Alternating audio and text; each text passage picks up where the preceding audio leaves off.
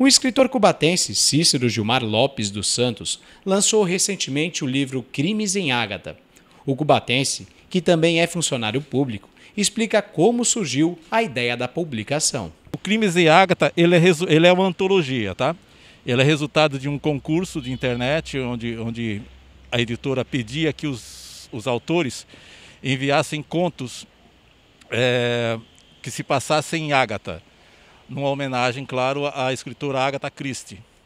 E também é, era assunto do, do, do conto que se focasse no, num dos livros mais famosos dela, que já virou filme, que é o Mistério dos Dez Negrinhos, certo?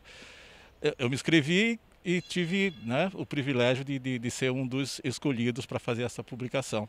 Todas as histórias cheias de segredos. São, são todos, são 20 contos, né? 20 histórias, cada um de um autor.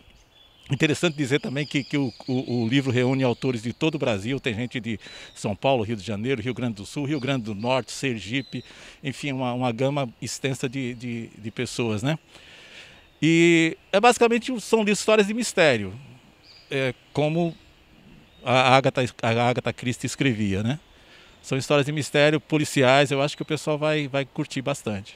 Cícero tem uma longa história com a literatura e, de acordo com ele, Os Crimes em Ágata está entre os 10 mais vendidos da Amazon, plataforma em que o livro está sendo vendido. O prazer pela escrita, quando é que começou isso? Eu acho que desde o tempo de escola, desde que eu me entendo por gente. Mas foi ampliado quando eu comecei a fazer teatro amador aqui na cidade de Cubatão. Quem me conhece um pouquinho sabe que a gente milita na, no teatro já há muito tempo, né? Então eu comecei a escrever as peças e depois das peças, naturalmente, eu fui escrevendo contos, romances e não parei mais. E o cubatense tem várias publicações. Respostas para todas as perguntas foi 2010. 2014 nós lançamos o Assombrados, que fala numa cidade aí que muita gente acha que parece Cubatão, eu não sei. a cidade chama-se Assombrados.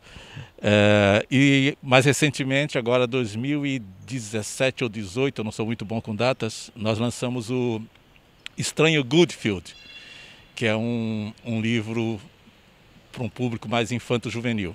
E não há como falar de literatura em Cubatão e não citar Afonso Schmidt porque Afonso Schmidt é sem dúvida o, o, a referência dessa cidade em literatura. É, um cara que no seu tempo marcou época, né?